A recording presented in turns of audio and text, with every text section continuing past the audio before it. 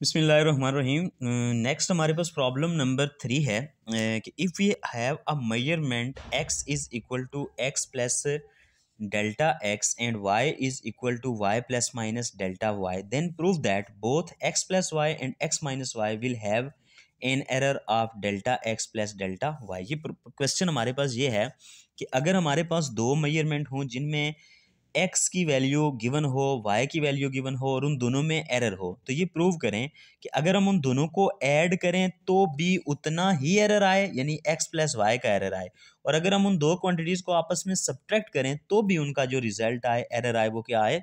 Delta x plus y आए। Result हमारे पास गिवन है आंसर हमारे पास गिवन है। तो देखें गिवन डाटा हमारे पास क्या है कि जो वैल्यू है एक्स की, वो कितनी है? एक्स प्लस डेल्टा एक्स से दिस इज़ इक्वेशन वन और दूसरी है y which is y plus delta y से this is equation number two. तो हम क्या करेंगे? सबसे पहले हम एडिशन करते हैं।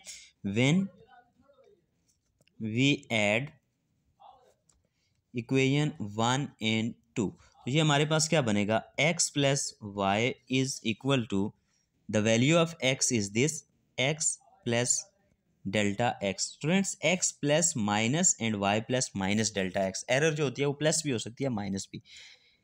इन दोनों को हमने ऐड करना था तो plus into y plus minus delta y. Okay?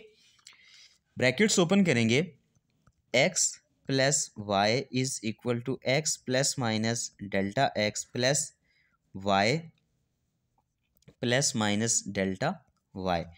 Implies that x plus y is equal to x plus this y x plus y plus minus delta x plus minus delta y okay implies that x plus y is equal to x plus y plus minus यहाँ से दोनों से common ले लिया into delta x plus delta y okay तो हम ये बात जानते हैं कि जो इसके अंदर टोटल अनसर्टेनिटी होती है, ठीक है?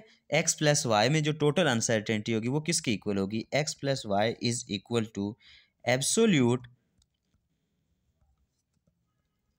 uncertainty in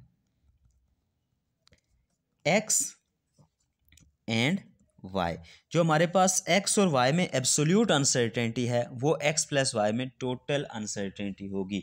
तो वो हमारे पास क्या आ गई? एब्सोल्यूट अनसर्टेनिटी वो हमारे पास आ गई plus minus delta x plus delta y तो हम क्या लिख सकते हैं? टोटल एरर या टोटल अनसर्टेनिटी जो हमारे पास एक्स या वाई में आई है एक्स प्लस वाई में आई है total uncertainty this is equal to this is equal to y this is equal to plus minus into delta x plus delta y okay?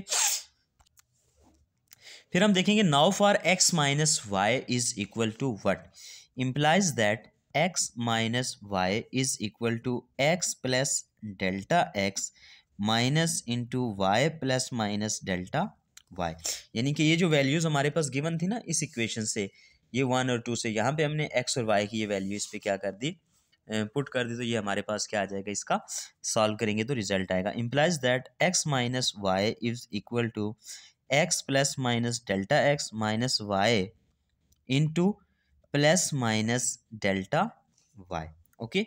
ये हमारे पास हमने इसको क्या किया? ओपन किया। अच्छा अब अगर ये माइनस अंदर मल्टीप्लाई हो तो ये माइनस प्लस हो जाता है, ठीक है?